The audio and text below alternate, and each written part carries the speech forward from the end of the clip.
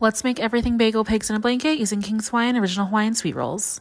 First, hollow out the sides of your rolls, then you're going to fill them with mini breakfast sausages and white cheddar cheese. Next, you're just going to brush the top with melted butter and sprinkle everything bagel seasoning, then bake at 350 for about 8 minutes, and that's it.